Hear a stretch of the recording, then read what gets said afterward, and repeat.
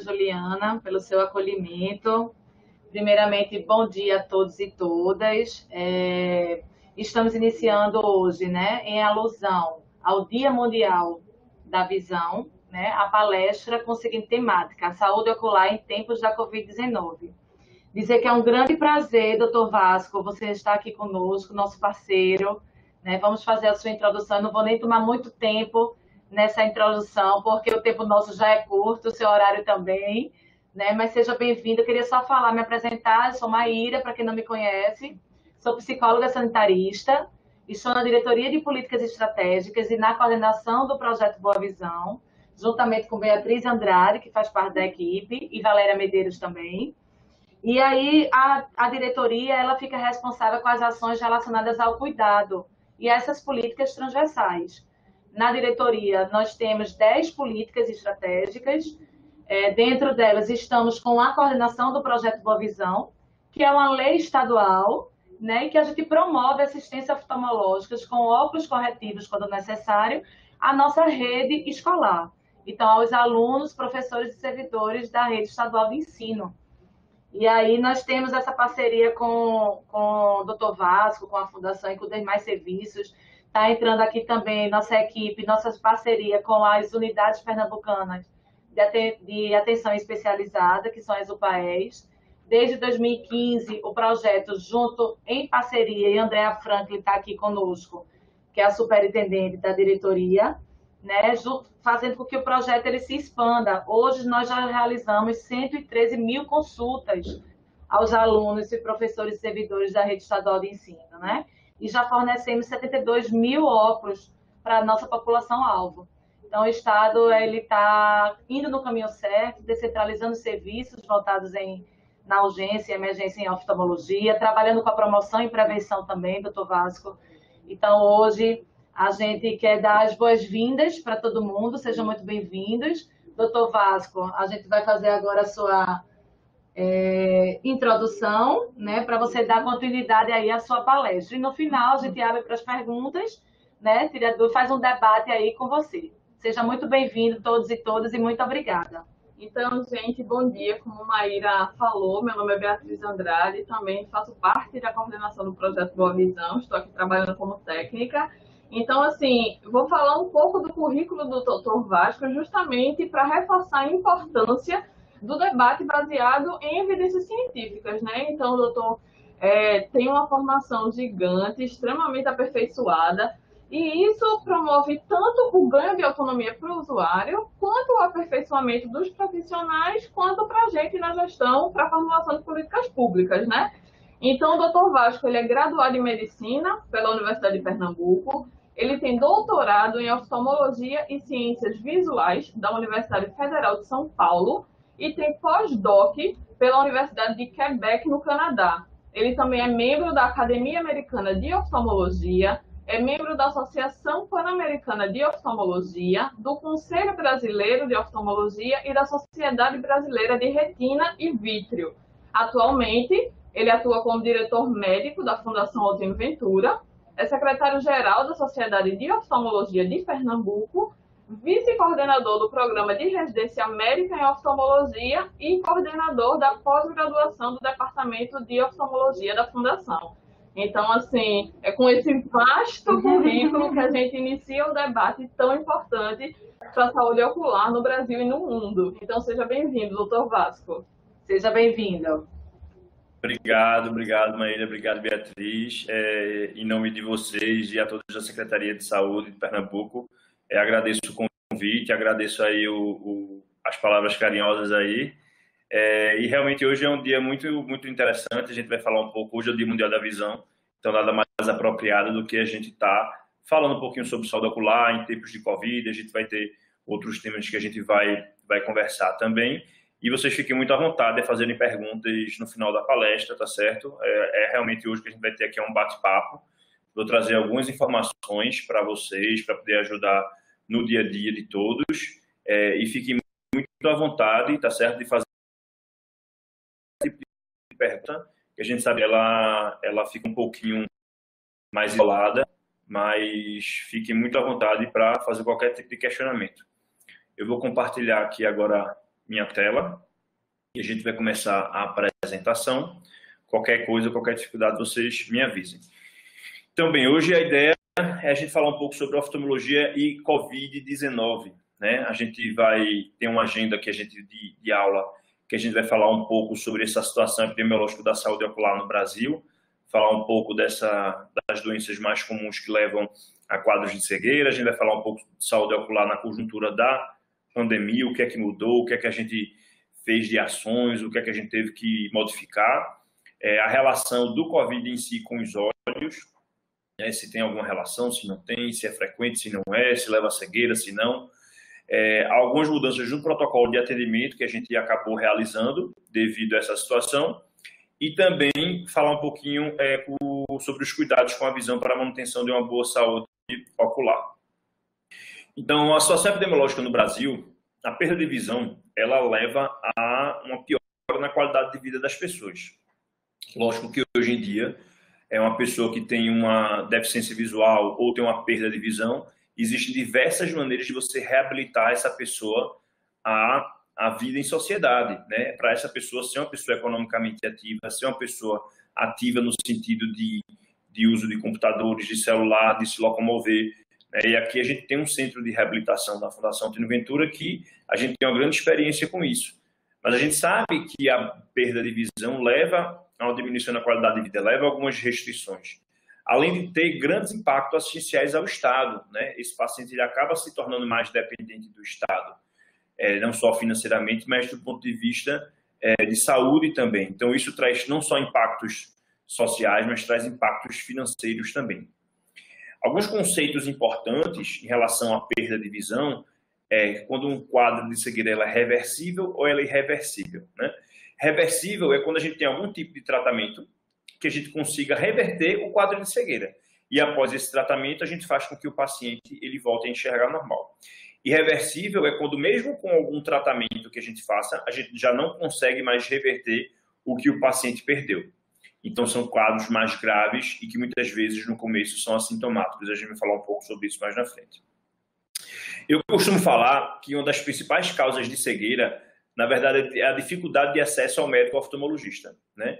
É, existe, inclusive, um projeto do Conselho Brasileiro de Oftalmologia para a introdução da oftalmologia na atenção básica, apesar de, por às vezes, é, alguém, quando a gente conversa isso, soar, mas, poxa, uma especialidade tão específica na atenção básica, mas a oftalmologia ela é uma especialidade que ela abrange um grande número de pacientes. Então, a gente costuma dizer que a gente é uma das poucas especialidades na medicina que a gente cuida da assim que o paciente nasce, porque a gente, paciente, toda criança quando nasce, ela tem que fazer o teste do olhinho, até pós-mortem, porque a gente tem ainda a questão do transplante de córnea, em que a gente pode fazer a captação da córnea de um paciente que veio a falecer e que ele é um doador de órgão.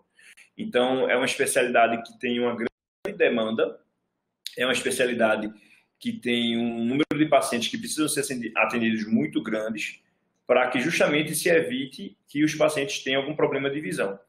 É, a falta, existe uma falta realmente de médicos oftalmologistas em várias cidades, isso não é um problema só da oftalmologia, né? Isso é uma dificuldade do nosso país, que é um país de dimensões continentais, e existe a dificuldade de acesso é, pelo SUS também. É, mas é muito importante que a gente combata profissionais não médicos e consultas casadas com óticos. Com, como é que a gente faz isso? Melhor fiscalização e o paciente tendo acesso ao médico oftalmologista. A gente sabe que no interior, muitas vezes, é, e é não só no interior, mas até em Recife mesmo, a gente tem muitos profissionais não médicos que eles acabam fazendo o exame de vista, como chamam, as óticas também que oferecem. Então, a gente sempre gosta de alertar a população tome muito cuidado com esse tipo de situação. Muitas vezes pode até ser um médico, mas que não é, é proibido o uso de venda casada. Você pode até estar usando um óculos que não tem necessidade. E precisa tomar muito cuidado com um profissional não médico que faz esse tipo de atendimento, porque o exame oftalmológico, ele não é só exame de vista, não é só exame de grau. Né? O olho ele é um órgão complexo. Para vocês terem uma ideia, existem cerca de 10 ou mais subespecialidades dentro da área da oftalmologia. Então, tem um médico que cuida só de catarata, tem um médico que cuida de retina, tem um médico que cuida de glaucoma, problemas de córnea, problemas de tumor ocular, neurooftalmo, enfim, uma, uma diversidade de situações. É, e se você faz só o exame do grau, várias doenças podem passar desapercebidas. Então, o exame oftalmológico, ele não é só o exame do grau, ele é o exame do grau, a medida da pressão ocular, a realização do exame de biomicroscopia, que a gente vê a parte da frente do olho, e o fundo de olho também, para a gente ver as doenças que podem estar afetando dentro do olho. Então, é muito importante, sempre quando alguém for procurar um médico oftalmologista, certificar que ele é um profissional médico, que isso é um ato médico, e de que ele é especialista em oftalmologia. Entre as principais causas de cegueira, elas podem variar de acordo com a realidade de cada país. Isso é um dado da Agência Internacional para a Prevenção de Cegueira, que é a EAPB. Cerca de 90% dos casos de cegueira estão presentes em países de baixa e média renda. Então, mostrando que existe uma relação direta entre o nível de desenvolvimento econômico de um país e a questão do acesso à saúde ocular. Então, para vocês terem uma ideia, em, em, em economias de mercado estabelecidos, desenvolvidos, as cegueiras devido à catarata correspondem a 5% das cegueiras. Em países de regiões mais pobres, isso corresponde a 50%. Isso aqui a gente está falando de uma causa de cegueira reversível, que é a catarata. O paciente, quando ele não tem nenhuma outra comorbidade e o paciente, quando ele não tem nenhum outro problema, ele pode, é, é, ele operando a catarata, ele restabelece a sua visão completamente anormal. Então é muito importante que hajam políticas de combate a essa cegueira reversível, porque ela vai depender dessas medidas preventivas e curativas e não só da detecção, mas da aplicação efetiva das soluções. Como a Maíra falou, é, não adiantava de nada se a Secretaria de Saúde fizesse um projeto para identificar os problemas de visão nos estudantes e não tivesse um programa que desse os óculos. Então, ela mesma falou, foram mais de 70 mil doações de óculos. Então, isso é fundamental. Porque não adianta a gente criar a demanda se a gente não consegue resolver o problema. Então, essas medidas, essas políticas públicas, elas são muito importantes para não só detectar, mas também para tratar.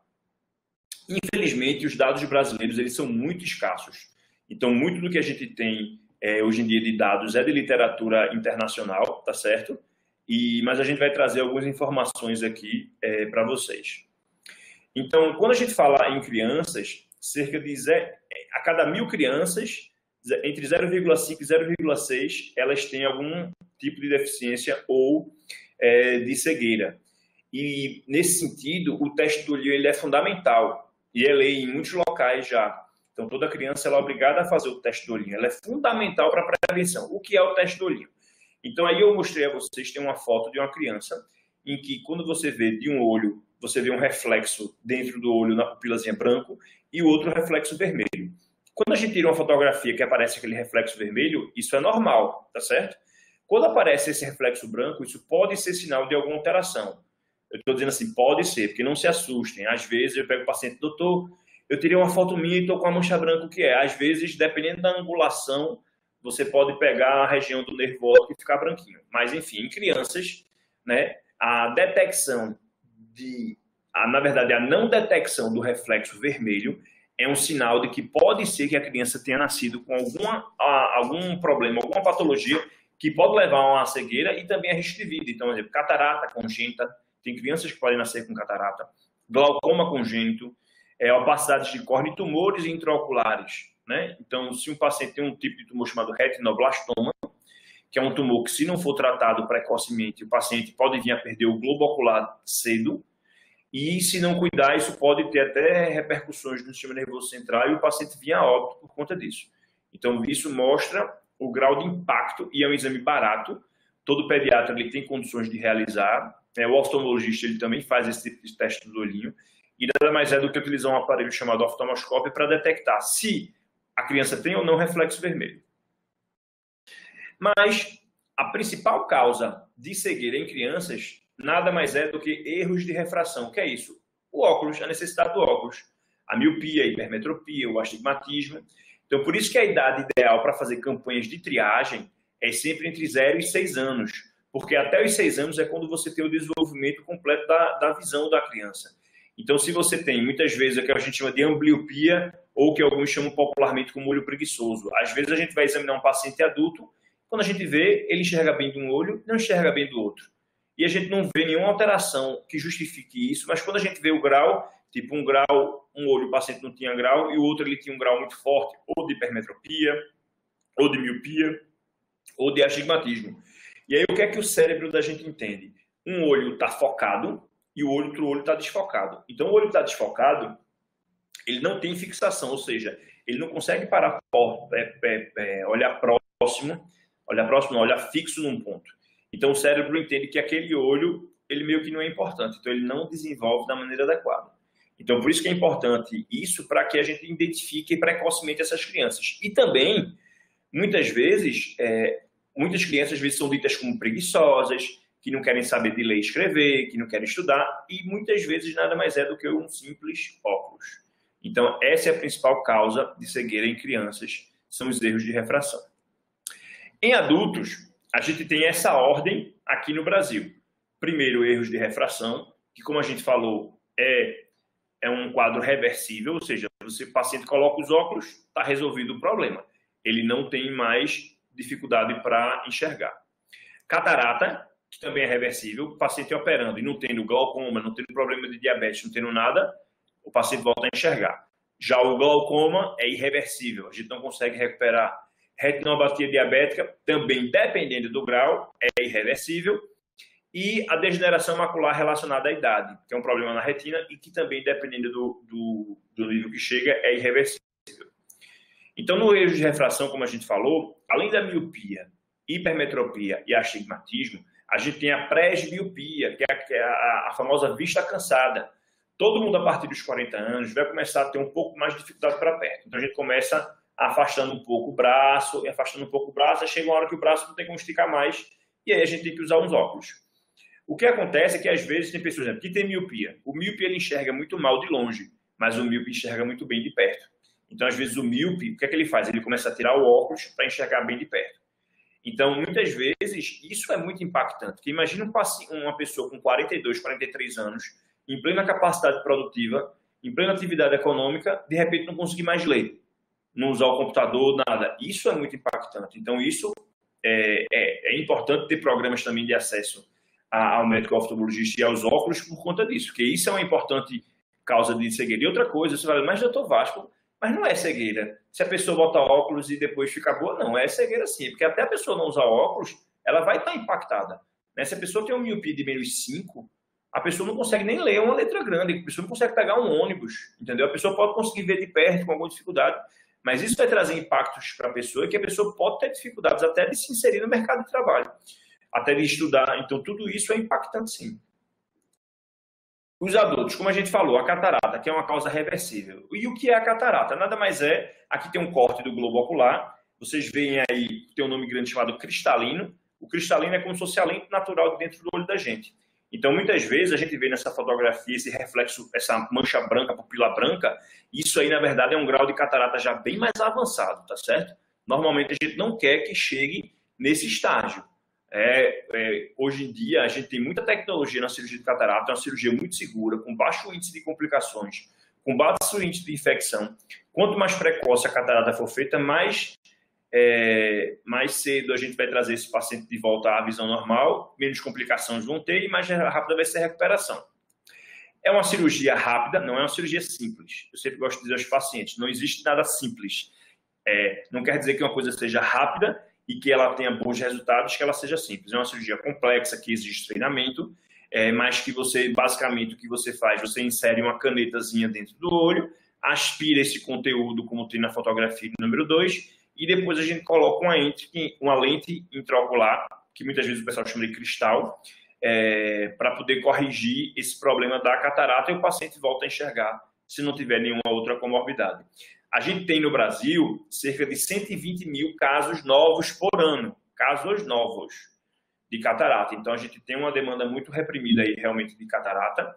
É, os projetos de catarata com segurança ao paciente eles são fundamentais para que a gente diminua a espera por isso. E como a gente falou, tem que ter a cirurgia de catarata, mas a gente tem que ter os óculos. Por quê? Quando a gente opera catarata, o paciente ele vai continuar enxergando mal para perto. Lógico que hoje em dia existem tecnologias de lente que se coloca dentro do olho que permite que o paciente fixe enxergar para longe e para perto.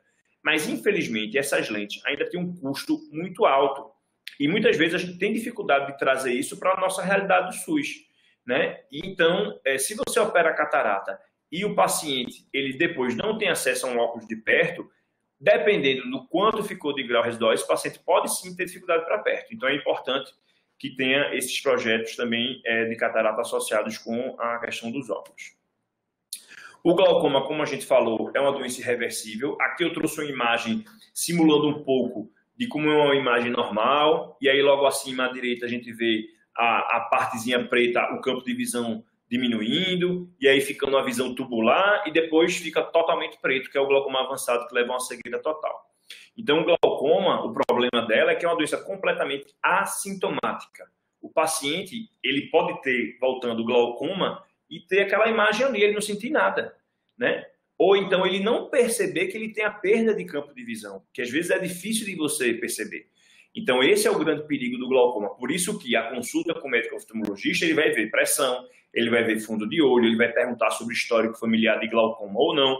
E através desse exame, a gente consegue ver se existem sinais que podem ser de glaucoma ou não, e aí a gente vai precisar fazer, às vezes, alguns exames para poder detectar se o paciente tem realmente algum glaucoma ou não. Como a gente falou, leva a uma perda de campo de visão.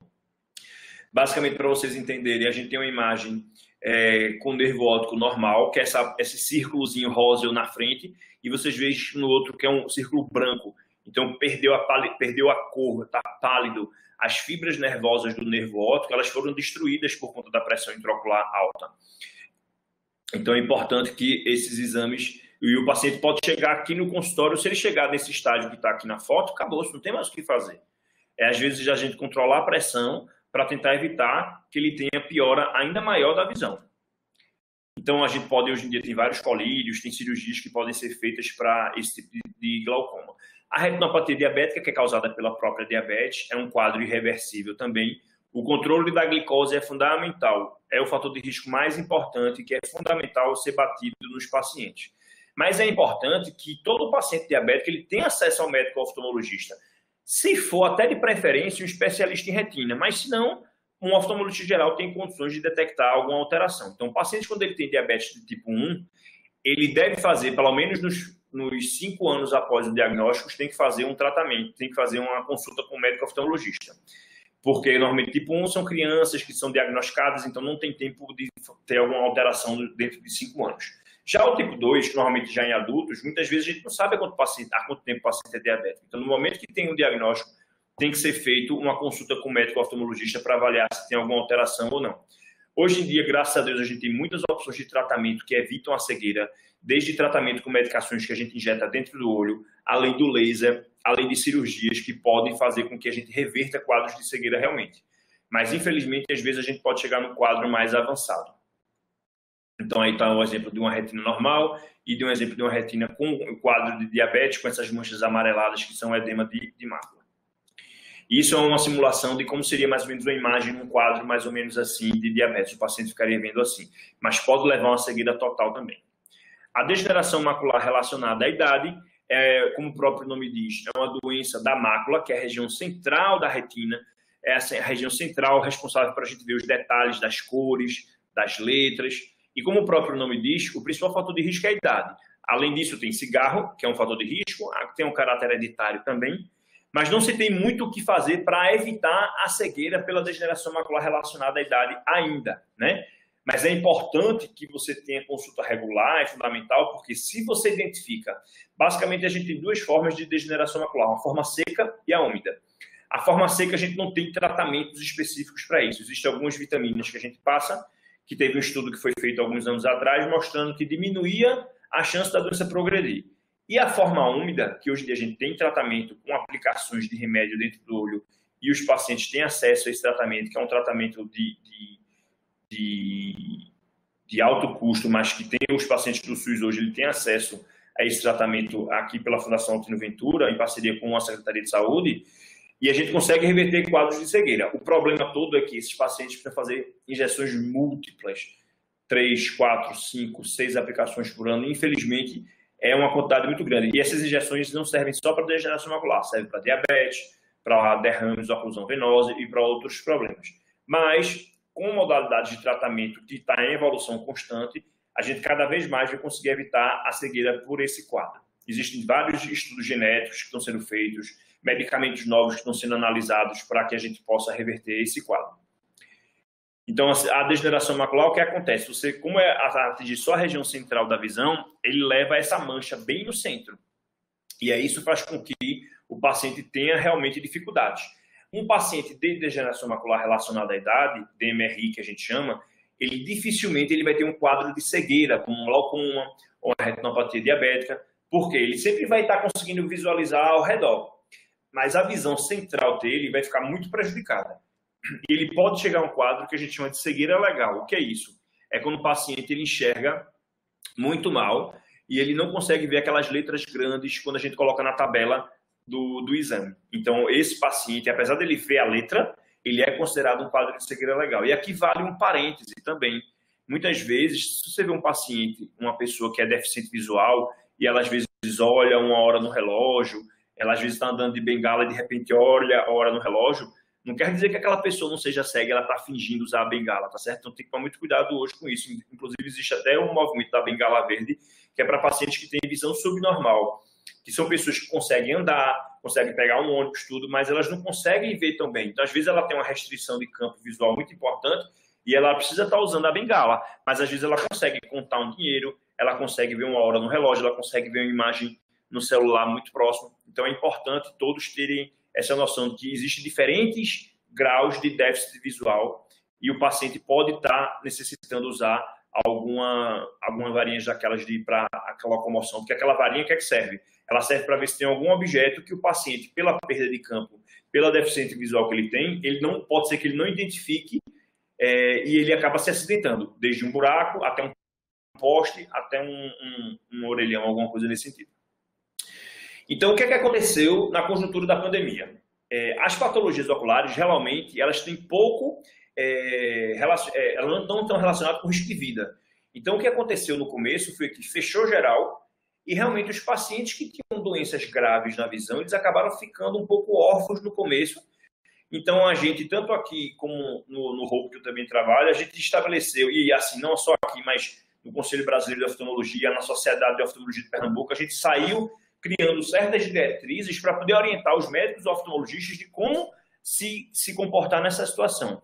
Então, a gente tem um grande número de pacientes com doenças que podem levar à perda da visão, e a grande maioria deles são idosos ou têm comorbidades, diabéticos, hipertensos. Então, ou seja, o grupo de risco que estava dizendo, fique em casa, você não pode sair de jeito nenhum. Mas muitos deles, infelizmente, precisam de tratamento continuado. Então, a gente ficava naquele dilema, o paciente vem ou não vem? Então, foram criados diversos critérios, critérios se o paciente era olho único ou não, quando tinha sido a última visita de tratamento, é, e a gente, quando foi possível, a gente entrou em contato com alguns pacientes para saber como o paciente estava. E a orientação que a gente sempre dava é se o paciente está bem, está estável, vamos aguardar, até porque no começo a gente não sabia quanto tempo a gente ia ficar parado. A gente não sabia se a gente ia voltar em junho, em julho, em agosto, setembro, não sabia como é que ia ser. Então foi tudo muito dinâmico e tudo indo se é, se, se, a, se amoldando de acordo com as necessidades. E no início, todas as cirurgias e consultas foram suspensas, exceto cirurgias de urgência e consultas de emergência. E como a gente falou, a gente tentou fazer uma análise personalizada das doenças para o atendimento durante a epidemia. Inicialmente, a gente tentou atender só os abaixo de 65 anos de acordo com a gravidade. Eu atendi paciente de 80 anos durante a pandemia, atendi em março, em abril, mas eram pacientes que estavam com quadros graves, pacientes que estavam sem enxergar bem e que talvez não tivessem grandes comorbidades. Então, eles decidiram ir ao hospital. E muitas vezes a gente conseguiu fazer atendimento online e a gente conseguiu resolver um problema do paciente. Então, em relação ao Covid-19 e os olhos, a gente sabe que existem relatos no começo de conjuntivite, inclusive estava entre os sinais e sintomas da Covid-19. Existe realmente, em todos os estudos que vem mostrando e falando de achados oftalmológicos em pacientes com Covid-19, a conjuntivite é o primeiro deles, o olho vermelho, a sensação de coceira, mas isso não é um, uma situação específica da Covid, mas sim da virose. É muito comum pacientes com quadro viral, com quadro de gripe, terem conjuntivite, certo? Então não é uma, não é uma conjuntivite diferente, diferente da Zika, que todo mundo ficou muito assustado, porque quando a gente teve a Zika, a gente teve aquela especificidade da questão ocular. Mas em relação ao Covid, a gente ainda não teve nada específico como teve na Zika. A gente teve alguns achados de inflamações oculares, né, pacientes que tiveram algum problema que foi relacionado ao Covid, algumas alterações na retina, mas que foram alterações reversíveis, que não levaram a um quadro de cegueira. Então, o que a gente tem hoje São os achados que ocorrem em outros quadros virais inespecíficos. Não tem nada específico do olho que aconteceu por conta da Covid. É, e também a gente não observou, é, tanto aqui na Fundação como no ROP, que são dois grandes emergências oftalmológicas, e nos outros locais, conversando com outros colegas do Brasil, inclusive, a gente não teve uma epidemia de conjuntivite, por exemplo. Lógico que os pacientes, muitas vezes, eles não estavam indo aos serviços com receio de procurar o atendimento oftalmológico, mas a gente não teve um aumento do número de casos de conjuntivite nessa época. Em relação aos protocolos de atendimento, a gente tem um cuidado padrão, né? A gente tem reforço da higiene de cada atendimento, até porque na consulta oftalmológica tem aquele aparelhozinho que todo mundo encosta o queixo, né? É, a gente teve um aumento do intervalo entre as consultas e a gente, é, a gente obedeceu às recomendações das portarias da Secretaria Estadual de Saúde e também do Conselho Regional de Medicina. E atualmente a gente continua a, a agendando com no mínimo é, de 15 em 15 minutos, tá, tá certo? Não com um intervalo menor do que isso. Além do uso de máscaras, protetores faciais, nos casos suspeitos de Covid, a gente tem sala de isolamento, a gente usa máscara, é, protetor facial, gorro, luva e o capote protetor também nesse sentido. Mas no atendimento do dia a dia da gente, a gente tem utilizado a máscara, os protetores faciais, a gente colocou um protetor na lâmpada de fenda, que é aquele aparelhozinho que a gente bota como se fosse um microscópio, é, que fica como se fosse uma proteção maior entre o paciente e o médico. Né? Então, fica mais ou menos assim, então não, não muda. É... A gente, lógico, higiene das mãos, conscientização da, da, do atendimento, intervalo dos pacientes, todos aqueles cuidados padrões. Então, o que mudou mais com a gente é mais assim, só o cuidado maior entre uma cirurgia e outra. Em relação às cirurgias, todas as eletivas tinham sido suspensas inicialmente, e agora, quando a gente voltou, a gente voltou, então todos os pacientes eles ficam de máscara dentro do bloco cirúrgico, que não era uma rotina isso acontecer. Quando a gente usa um oxigêniozinho, a gente só liga depois que a gente bota o campo cirúrgico em cima do olho do paciente, tá certo? Ele está de máscara, a gente prende tudo direitinho, para evitar que com oxigênio haja dispersão, alguma gotícula, alguma coisa. E toda anestesia geral, se ela for de urgência, ela é considerada COVID positivo. Então, toda a equipe usa é, N95, a gente faz a esterilização completa da sala, é, entre um procedimento e outro. E se for eletivo, a gente está fazendo o RT-PCR quatro dias antes é, dessas cirurgias. Inclusive, o Estado está fornecendo alguns kits, está fazendo o, fez o treinamento da equipe, e a gente consegue fazer isso de uma maneira muito prática e muito rápida é, com os nossos pacientes aqui do SUS. O uso da telemedicina também é uma coisa que é um caminho sem volta. Não adianta. Isso que a gente está fazendo aqui não deixa de ser uma telemedicina. A gente está fazendo um, um, ensino à distância. Isso vai ser cada vez mais comum. Já existia a telesaúde antes, mas isso cada vez vai ser mais comum, vai ser mais utilizado e a gente não tem como voltar atrás. É uma nova realidade que tem grandes benefícios, tem limitações dentro da nossa área específica da oftalmologia, porque a gente usa muitos aparelhos para o exame físico básico, mas mesmo assim ajudou e ajuda bastante. Então, eu estou trazendo alguns dados agora da apresentação da doutora Camila Ventura, que ela me emprestou, tá certo? Falando um pouco do que a gente fez aqui no Fundação e no Hope, para trazer para vocês o tema de novidade. É, então, a gente sabe que tem um centro de reabilitação na Fundação com vários profissionais. Já existia desde a época da Zika, antes mesmo da pandemia, é, um sistema chamado MobCare, que é uma parceria com a Universidade Federal de Pernambuco, com apoio do FACEP e com o do CETEND, que é o Centro de Informática é, para que a gente fizesse acompanhamento dos, dos, pacientes com Zika através de um aplicativo chamado MobCare, com a equipe médica e a equipe terapêutica. Essas crianças exigem um monitoramento contínuo, então às vezes não tem como ficar vindo todo dia. Então esse aplicativo ajuda bastante. É, a gente também já iniciou, antes mesmo da pandemia, a gente já tinha iniciado um projeto de telemedicina, de teleoftalmologia chamado DART, que é, que é um software do Chile que foi fornecido para nós, em que esses pacientes, ele encerra a talhada, eles fazem os exames de retinografia com o técnico e um médico oftalmologista especialista em retina, ele examina essas imagens em Recife e diz se o paciente tem algum grau ou não de retinopatia diabética e orienta. Ó, esse paciente ele precisa fazer laser, precisa fazer tratamento, precisa fazer uma consulta. Ou então, se esse paciente diz, não, esse paciente basta fazer uma consulta ano que vem. Então, ele faz a consulta com o médico oftalmologista generalista na unidade de Serra e ele não precisa vir a Recife só para fazer uma consulta com um especialista em retina. Então, isso a gente traz grandes benefícios para a população e a gente ajuda a prevenir cegueira. Né? Como a gente falou, a gente tem essa unidade em Serra Talhada, que a gente já atende 23 postos de saúde da região de lá. A gente tem cerca, cerca de 100 pacientes por mês são beneficiados com esse programa específico. A gente atende mais pacientes do que 100. A gente atende uma quantidade grande por dia. Na área de ensino também, né, a gente já teve mais de 600 médicos formados, então é, a gente continuou com todas as nossas atividades de ensino, a gente já tem a telesaúde, já tem a rede RUT, que a gente já participa junto com outras equipes de oftalmologia com reuniões mensais, e a gente também fez atualizações, fez uma página no YouTube, a gente tem atualizações de web updates com professores nacionais e internacionais, trazendo atualização médica oftalmológica para onde o médico oftalmologista estiver, se ele estiver no interior, se ele estiver na capital, ele vai ter acesso. É, no Hope, a gente criou o Alô Hope, que é um serviço de teleatendimento, teleorientação e teleassistência, em que o médico ele, ele consegue conversar com o paciente. Aqui tem um videozinho, vou adiantar aqui para vocês verem. A gente consegue ver todo o prontuário do paciente, a gente consegue ver o paciente, né, quando o paciente ele tem um, o celular que seja apto. Então, assim, eu fiz vários atendimentos pelo Alô Hope, às vezes a gente ainda faz, e é uma coisa que veio para ficar. Né? Provavelmente é, a gente deve estar evoluindo até para uma consulta híbrida, para talvez a gente tentar ver se o paciente, ele, a gente faz um mix disso daí. Teve um alto grau de satisfação dos pacientes e a gente consegue resolver muitos problemas. Não como a gente falou, a gente tinha muitos pacientes que tinham receio de ir a uma emergência, será que eu devo ir ou não? Então, teve muito paciente que disse assim, ah, como foi bom falar com o senhor, doutor, o senhor me aliviou, eu então agora eu vou, eu sei que eu tenho que ir, porque o que eu tenho é grave, ele fica mais tranquilo em ir, ou então em não ir e a gente orienta. Se não melhorar, procure. Se não melhorar, volte a conversar com a gente. E que a gente evitou que muitos, mas muitos pacientes evitassem aí é uma emergência sem necessidade desse período de pandemia. É, as perspectivas futuras de, de, desse teleatendimento, a gente deve estar, é, provavelmente isso deve evoluir para uma consulta híbrida, então o paciente ele pode, imagina um paciente no interior, vem para fazer uma consulta comigo, faz os exames, e ele precisa voltar outro dia só para mostrar os exames. Então, dependendo dos exames, eu posso fazer isso online, eu posso conversar com ele, discutir, ó, basta você vir daqui a um ano, eu explico os exames para ele online, a gente não precisa ter que esse paciente venha só para fazer esses exames. Traz um grande benefício à população de lugares com dificuldades de acesso.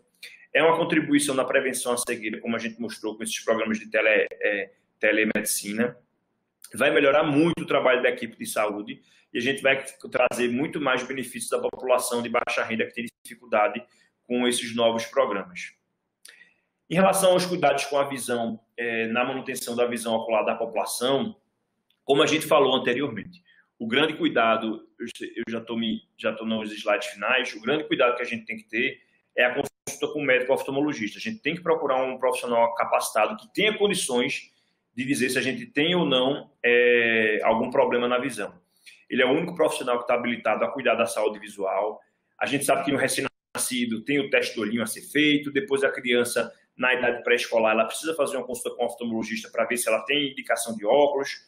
Quando vai nos jovens, existem algumas doenças que podem afetar os jovens, como ceratocone, problemas na córnea.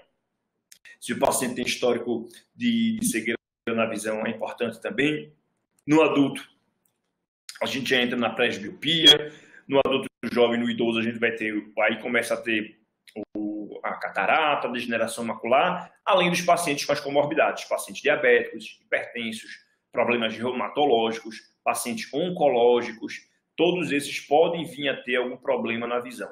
Então, o cuidado com a visão para que o paciente tenha uma boa visão é sempre procurar um médico oftalmologista e estar tá sempre atento a essas consultas regulares para que não tenha perda de visão.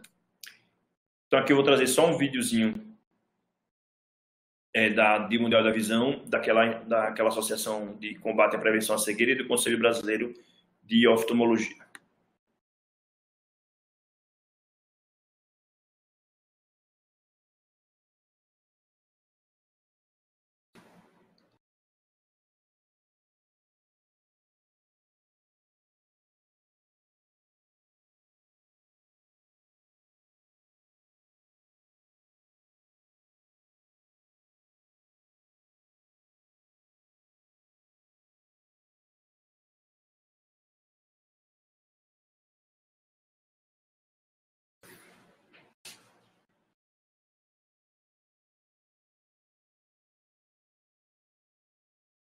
Então é isso, pessoal. Obrigado aí. Acho que me estendi um pouquinho, mas agora a gente Parabéns, vai ter um tempo bom para as perguntas. Parabéns, doutor Vasco, foi uma excelente web palestra, viu? Foi muito Obrigado. bem o slide, o vídeo, bem objetivo, claro. É, nós tem, temos bastante elogios no chat de Marta, da Saúde da Criança, daqui da SES. É, esses esclarecimentos são muito importantes. Parabéns, Maiara, Beatriz, a doutor Vasco Torres. Excelente palestra, importantíssimo para os profissionais e usuários do SUS. É, Luiz Valério também dando os parabéns por esse momento tão importante. Graziela Nogueira, da Sete Mais Velhos também, excelente. Thalita Joyce Lima da Silva, bom dia. É de Caruaru, está aqui representando também. Também estamos, temos Deise, residente em saúde coletiva da primeira GERE. E Francisco, da Unidade da Saúde da Família, do Beija-Flor. Parabéns pela palestra muito esclarecedora. E outros comentários aqui que está chegando agora. A Graziela da. Oricuri. É, de Oricuri. Ótimo. Bastante gente aqui dando os parabéns. É, de fato, não tivemos nenhuma pergunta relacionada, porque foi bem clara e bem objetiva mesmo. Sua web. Eu só tenho a agradecer essa participação e desejo que, de fato, você possa participar de muitas outras aqui, porque nesse momento de pandemia, desse, dessa questão do isolamento e outras partes bem interessantes que o senhor levantou na sua web, da questão da, do paciente não precisar ir realmente se deslocar para fazer o exame, né? Tipo, no caso ele pode fazer e no caso transferir para você e não necessariamente não fazer essa deslocação é, grande, né? De um lugar é, para o outro. A gente ainda não conseguiu evoluir a um ponto de tipo o paciente ele não ser visto de maneira nenhuma pelo médico, não precisar, né? Então, esse projeto de telemedicina que a gente tem em Serra Talhada, então ele é visto pelo médico generalista ou oftalmologista geral, ele faz os exames e o médico especialista em retina ele examina em Recife, né? É, eu não tenho dúvidas que mais na frente, daqui a alguns anos, a gente vai conseguir evoluir para muito mais do que isso, né?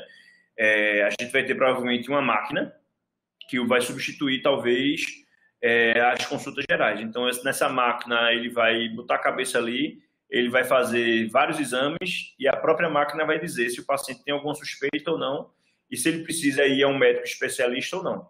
Isso é uma questão de tempo. Quando é que isso vai acontecer, a gente não sabe, né? Mas é, ainda é muito importante o paciente procurar o médico oftalmologista. Essas, essas solicitações, essas, essas, esses programas de telemedicina, esses projetos todos vão facilitar muito o acesso nesse começo, eu acho, para especialidades. Né? Então, imagine um paciente desse que é diabético e que o oftalmologista geral vê e ele fica na dúvida, poxa, será que esse paciente tem que ir ou não para um retinólogo? Eu não tenho tanta experiência assim, eu vou mandar. Aí lá vai o paciente sair de Serra Talhada, pegar um carro de manhã cedo. Se ele, se ele for economicamente ativo, ele vai parar de trabalhar, ele não vai trabalhar naquele dia. Se ele for um idoso, ele vai ter que ir com um acompanhante, que pode ser que tenha que parar de trabalhar naquele dia, né? Então vai ter que ter o custo dele ir até Recife, ser examinado e voltar. E às vezes o médico dizer: não, você está ótimo, está tudo direitinho, essas alterações que você tem, a gente não precisa fazer nada, vai só acompanhar, controle sua diabetes e volta daqui a um ano. Então, você evitar todo esse trajeto, isso é muito bom, entendeu? Isso é muito, isso é de uma grandeza muito grande. Né? Aqui na Fundação, a gente acaba tendo uma experiência muito grande com essa interiorização e a gente vê como é bom. Quando a gente tinha um projeto que fazia catarata na unidade cirúrgica móvel, no ônibus, era muito bom, que os pacientes precisavam vir a Recife, enfim. Mas esse programa que a gente percebe que a Secretaria vem tentando fazer essa descentralização da oftalmologia, que não é fácil, isso vai ser fundamental para a gente ter polos no Estado, né, que sejam referência nisso, e a gente possa trazer esse benefício para a população. Eu ainda vejo mais, doutor Vasco, ainda vejo que nesse momento de Covid, né, tipo, de fato é uma coisa que está se aprimorando muito. Talvez até bem mais rápido que a gente imagina esteja aí, né? Pelo Isso, exatamente. Eu vi até aqui que teve uma pergunta de Francisco, da USF Beija-Flor. Isso, isso. Do Mato Grosso, né? É. Olha aí, tá vendo? Fora do tá vendo? É, ele fez nacional. Pergunta ele pergunta e sou de Mato Grosso e nunca tinha ouvido falar nessa possibilidade de teleconsulta nessa área. Essa é uma iniciativa local aí ou falta informação a nível nacional? Na verdade, Francisco, isso foi uma, essa teleconsulta que a gente que eu mostrei do Allo Hope foi uma iniciativa muito pontual do hospital que eu trabalho privado aqui, que a gente oferece esse serviço, tá certo? É, a gente ainda não conseguiu transformar isso para SUS e nacionalmente não são todos os locais que têm isso, ainda tem algumas dificuldades para a gente fazer isso, é, mas é uma questão que com, em breve vai ter. Existe um médico de Goiás que ele consegue hoje, ele de casa, ele fazer uma consulta oftalmológica toda a distância, mas o paciente ainda precisa ir a um consultório. Existe um técnico que coloca o paciente lá nas máquinas e ele consegue controlar praticamente as máquinas todas de casa. Então, essas coisas, isso vai ser evoluído muito, muito mesmo, tá certo? É, como você falou que já fazia isso com cardiologista, isso já facilita bastante, né?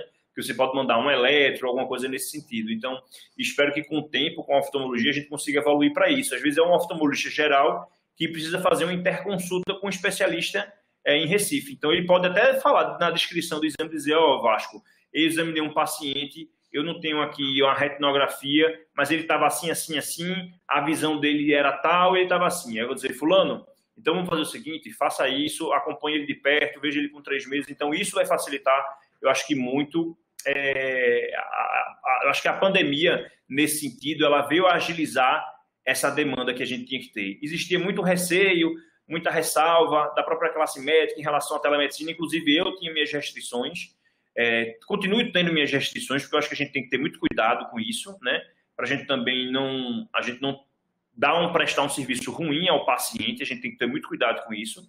Mas é um caminho sem volta, é um caminho sem volta, é um anseio da própria população e é, um, e é uma ferramenta que só vai trazer, só vai agregar. Cabe a gente, da equipe de saúde, todos os envolvidos em todos os setores privados e públicos, definirmos como é que a gente vai trazer isso para a população da melhor maneira possível e da maneira mais segura e trazendo benefício. Mas é um caminho sem volta. Isso. É, eu, eu posso fazer um comentário? Depois a gente, a gente também Pode. tem algumas perguntas, viu, doutor Vasco? Tranquilo, eu estou tô, tô tranquilo aqui. Tem mais perguntas ali no, no chat, mas a gente também fez alguns também para fazer, mas eu só queria agradecer a sua, a sua palestra. Eu acho que a gente mergulhou né, na, na temática que a gente realmente é, vive aqui na luta enquanto projeto Boa Visão, enquanto essa parceria também com os serviços contratualizados no SUS, né, que a Fundação faz parte dessa rede também. É, e aí a gente só se certificou mais ainda que o cuidado ele precisa ser feito desde o nascimento, desde sempre, né, doutor Vasco? Exatamente. Sabemos que, claro, que a partir dos 40 anos precisamos intensificar esses cuidados, mas que ele precisa ser feito desde sempre eu acho que o Brasil ele tomou uma conjuntura levando a, importância da saúde é, ocular em âmbito mundial, nacional, acho que a gente estadual também, a gente vem avançando. É, enquanto Estado, acho importante trazer alguns pontos. É, a gente aprovou em 2018, é, na resolução CIB, o nosso desenho da rede em oftalmologia no estado de Pernambuco, descentralizando os serviços.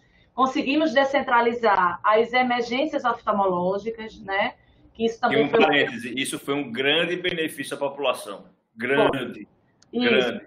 Isso. E nós temos também as nossas UPAEs, né? Nós temos oito unidades pernambucanas de atendimento especializado com a especialidade. Claro que não é emergência, é ambulatorial, mas a gente tem o serviço. Né? Além do mais, assim, o projeto Boa Visão, a gente trabalha as questões de promoção à saúde, de prevenção de deficiência visual, de cegueira, a gente dá acesso ao público estudantil ao SUS. Né? A porta de entrada, muitas vezes, é através do projeto Provisão, porque a gente sabe que é, a população ela não tem renda suficiente, às vezes a gente precisa de um óculos multifocal. Nós já pegamos crianças com 6 anos de idade com 13 graus de miopia. Quer dizer, ela não enxergava, mas ela achava, como você falou, que enxergar aquilo, já nasceu com esse problema, né? Muitas vezes tem essa, essa, esse diagnóstico de hiperativo, né? De, de preguiçoso.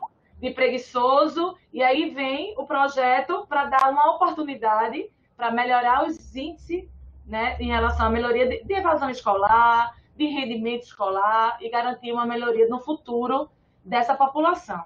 É, Outro, outro ponto também importante, é, é, importante enfatizar que o projeto Boa Visão ele é uma parceria entre saúde, educação e o LAFEP. Não, a saúde não vai fazer nada separado desses, dois parceiros, né? A educação, ela entra realizando a triagem da cuidado visual nessas crianças, né? E o LAFEP disponibilizando os óculos monofocal, bifocal e multifocal, porque também a gente atende alunos fora de faixa etária. Né? Então, é uma amplitude assim, enorme do projeto. Foi o primeiro do Brasil a fornecer também lentes multifocais através do LAFEP. A gente vem crescendo aí em parceria com as UPAEs. E uma coisa também que a gente é, teve muito importante no, no, período de pandemia foi os teleatendimentos, doutor Vasco. Também realizamos aqui, em parceria com a Telesaúde, né, os teleatendimentos para as pessoas com deficiência visual, física, mental, microcefalia. Então, a gente já chegou, a gente está a mais de 4 mil atendimentos, com várias especialidades. equipe multidisciplinar.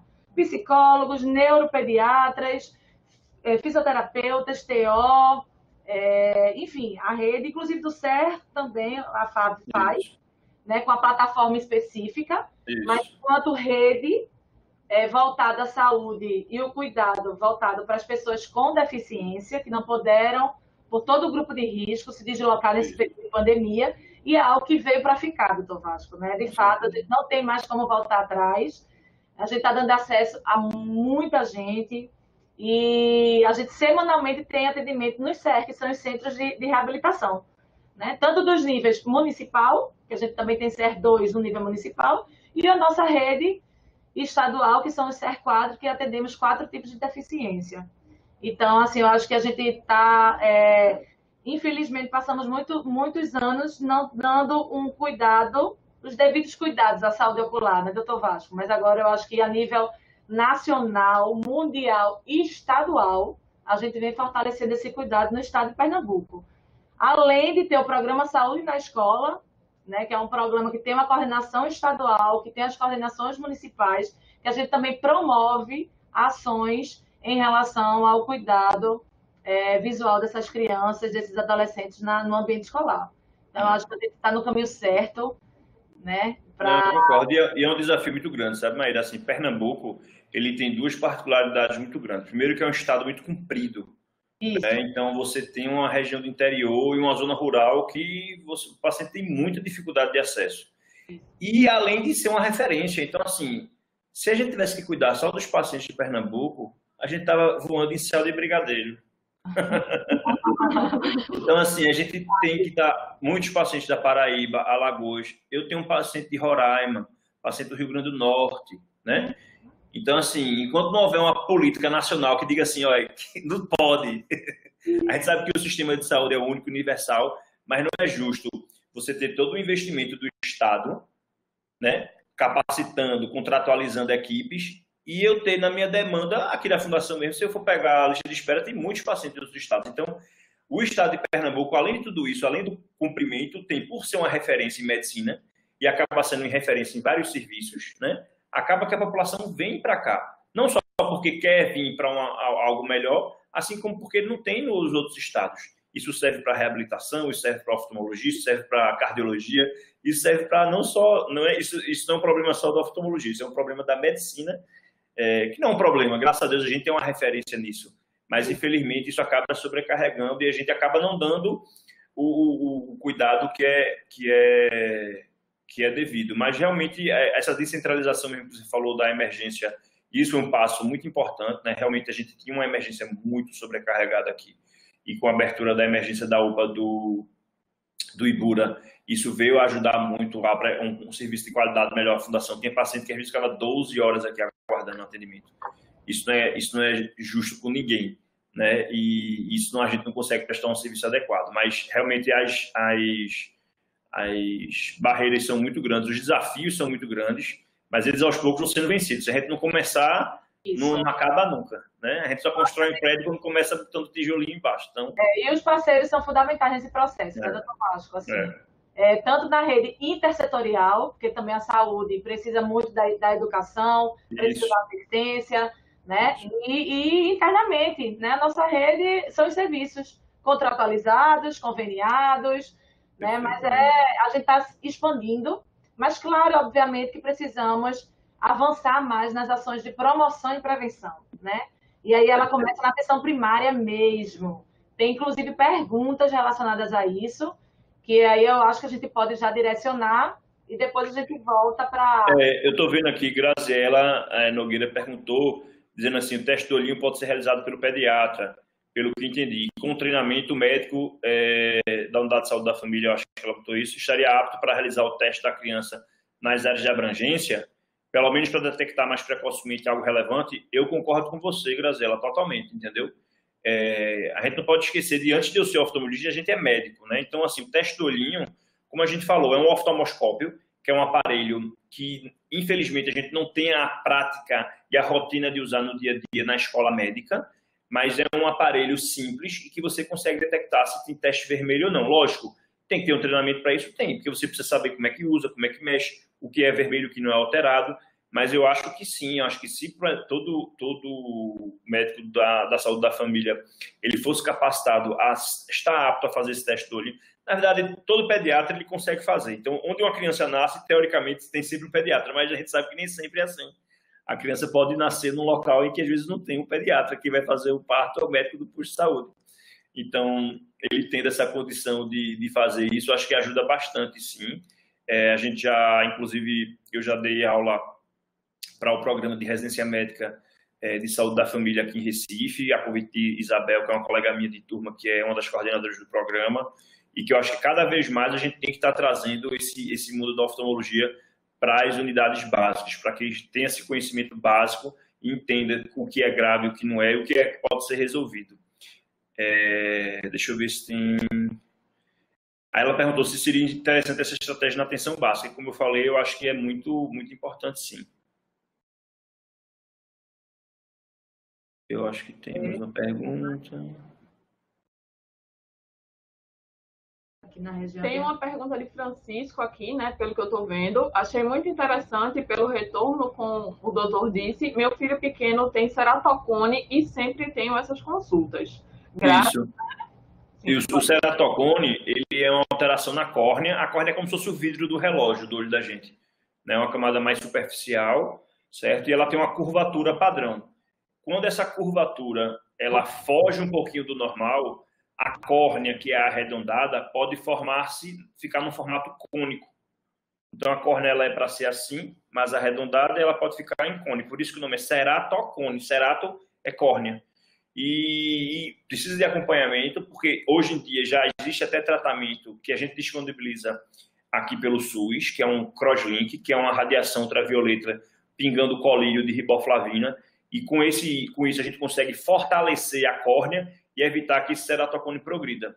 Mas, graças a Deus, hoje evoluiu-se muito. Tem também tratamento com anel, tem tratamento com transplante de córnea. Então, o ceratocone é um tipo de problema que pode levar a uma cegueira, mas entra naqueles que eu falei de cegueira reversível. Se ela progredir a ponto de o paciente não conseguir usar uma lente de contato, um óculos que melhore a visão por conta do astigmatismo alto, tem sempre a possibilidade de fazer algumas cirurgias para poder reverter isso até o próprio transplante de córnea. Eu gostaria de dizer que eu também tenho uma pergunta. primeiro, eu queria, primeiro, eu queria dizer que eu adorei a, a, palestra, assim, foi um deleite, de fato. E também a facilidade com que trouxe a didática, né? Eu acho que tanto usuários quanto profissionais, quanto a gestão conseguiu captar informações extremamente valiosas. E aí, doutor, eu tenho uma inquietação que, na verdade, o senhor trouxe que as doenças e os agravos oculares, eles têm vários recortes, na verdade, né? O recorte geracional, o recorte socioeconômico e tem um documento que foi é, elaborado pelo Conselho Brasileiro de Oftalmologia, que ele se chama As Condições de Saúde Ocular no Brasil, inclusive saiu no ano passado, 2019, e que ele diz que o sexo também influencia em alguns agravos e que, por exemplo, estudos indicam que mulheres de todas as regiões do mundo também têm um risco maior em desenvolver esses agravos. A que o senhor é, dedicaria isso, de as mulheres desenvolverem mais doenças oftalmológicas oculares do que homens? Existem algumas doenças que, por caráter genético mesmo, não existe uma explicação ao certo, de fato, que às vezes as mulheres são mais propensas a ter. É, o que eu acho também que tem muito de que a gente conversa muito nos estudos é que na verdade a mulher ela se cuida muito mais a mulher ela já ela tem uma cultura de, de, de, procurar uma atenção à saúde muito mais. Então, muitas vezes, existem mais detecções de doenças em mulheres em algumas situações, pura e simplesmente para a mulher procurar mais é, o atendimento médico. Né? Então, é, a gente sabe que homens existe todo esse tabu, exame de próstata, não sei o que, homem não quer fazer. Na mulher, não, existe aquela cultura desde cedo de que ela sempre vai a ginecologista, porque ela sabe que tem que ir quando menstrua, preventivo, não sei o que.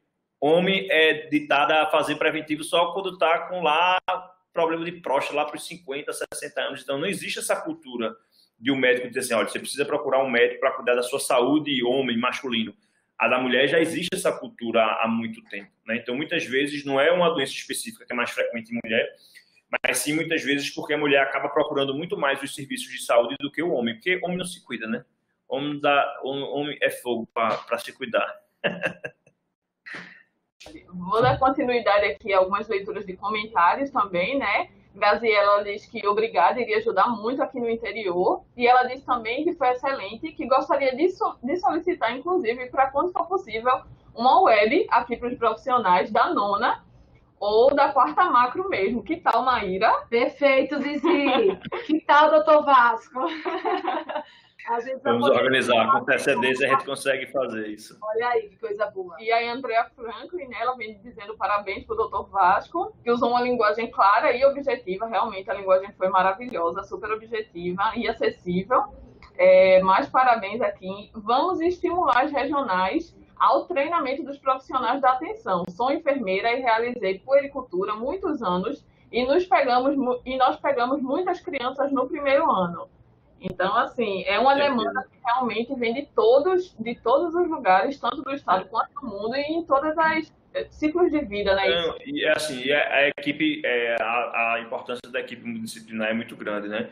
Nenhum profissional sozinho ele tem mão e braço para fazer tudo, né? Cada vez mais a gente sabe da importância de você ter uma equipe multidisciplinar para que a gente tenha um tratamento da saúde adequado, né? O médico não faz nada sozinho, o enfermeiro não faz nada sozinho, o técnico, o assistente social, o terapeuta ocupacional, o fono, o físico, ninguém faz nada sozinho.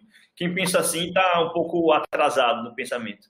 Então a gente realmente a gente é uma equipe multidisciplinar, não é à toa que a gente tem grandes avanços nisso, porque a gente cada um indo fazendo a sua expertise na área vai trazer mais benefícios para a população e, e é de fundamental importância. Eu lembro quando a gente participava na época que eu era residente, e que eu participava ativamente, hoje em dia eu participo não ativamente, mas mais em, bastidor, mas eu participava ativamente dos projetos que a gente ia ver as crianças nas escolas, chegava o ônibus lá com as escolas, tudo.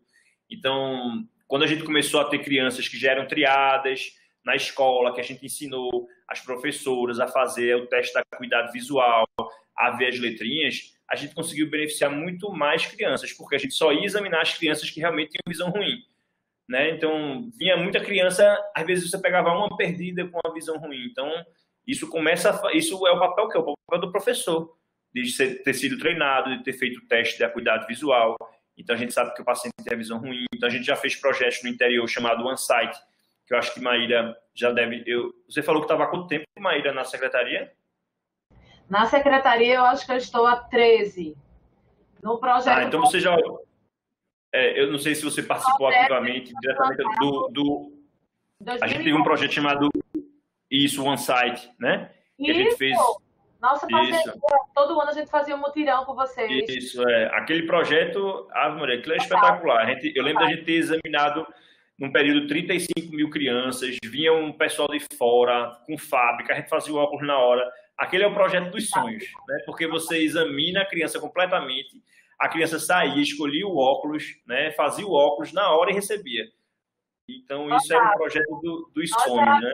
Nós até é, é, o ano retrasado. Acho que até 2000, ano retrasado, exatamente. É. E a gente atendia em duas semanas 5 mil crianças. E o isso. óculos sendo entregue na hora ou no máximo é. no outro dia. É... Ou, às vezes, excepcionalmente, quando era um grau muito forte, às vezes ia para São Paulo e depois voltava. Mas a grande maioria das crianças tinha um não, benefício casos, de receber. Vasco, nos graus altos, o LAFEP, a ótica estadual. O LAFEP fazia, né? É, é então, porque quando eu participei a primeira vez.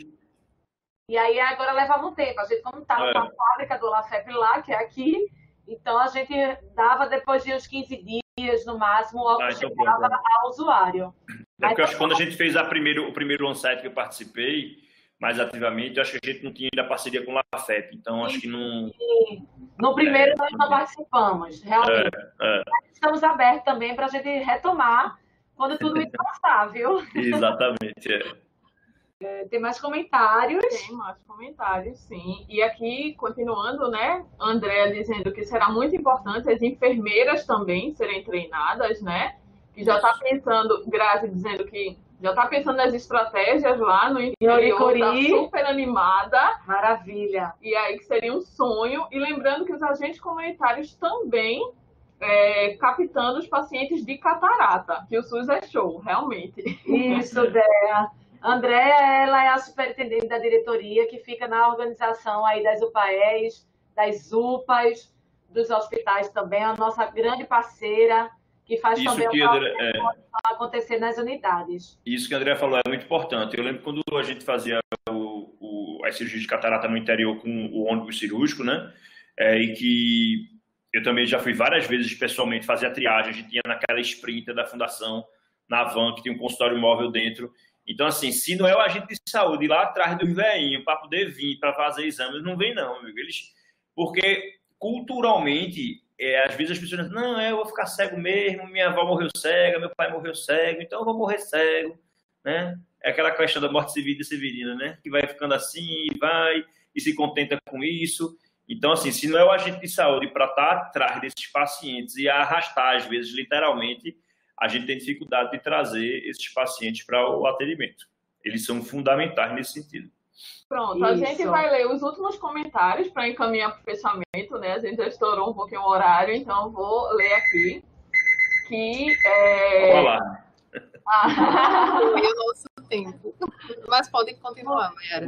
Então, a última pergunta de, de Graziela, que ela está dizendo que na maternidade é indicado também fazer o teste? Lilian Barros está dizendo que estávamos falando isso hoje, na Quinta Geres, como esse projeto foi um sucesso e contribuiu para a saúde oftalmológica de crianças e adolescentes foi nessa lindo, região. Lilian. E Grazi continua, né? O ideal é realizar o teste do olhinho no primeiro mês de vida da criança?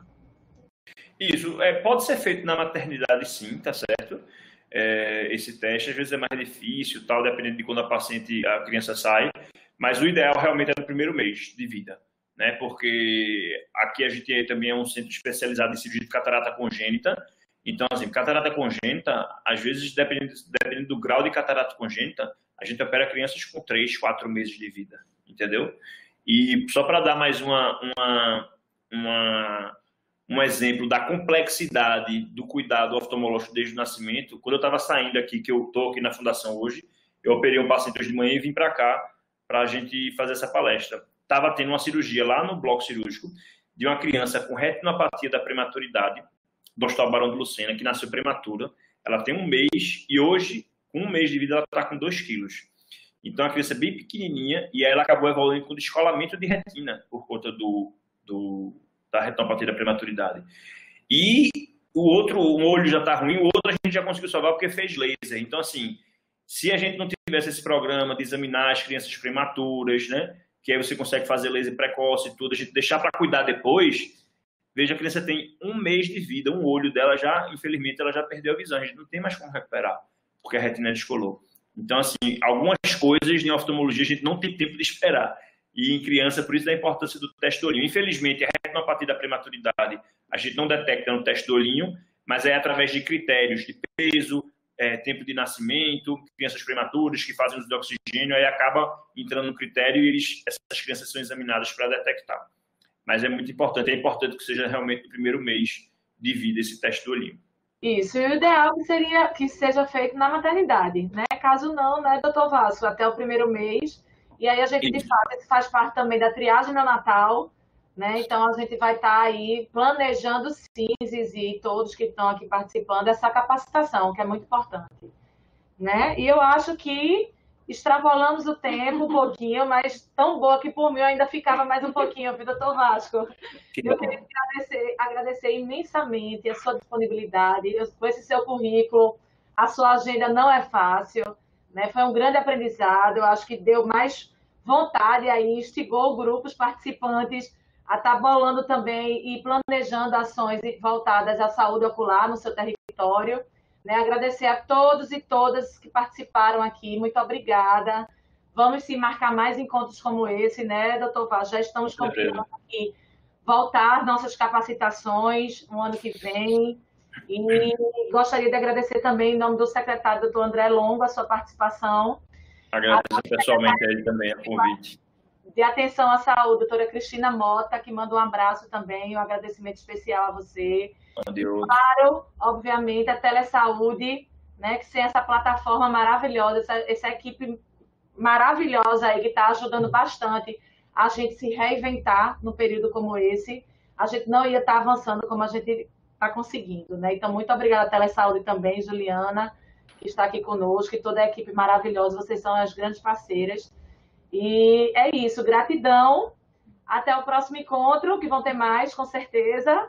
Doutor Vasco, muito obrigada e adorei, adorei hoje. Gratidão obrigado. a você também, Mayara Beatriz, doutor Vasco.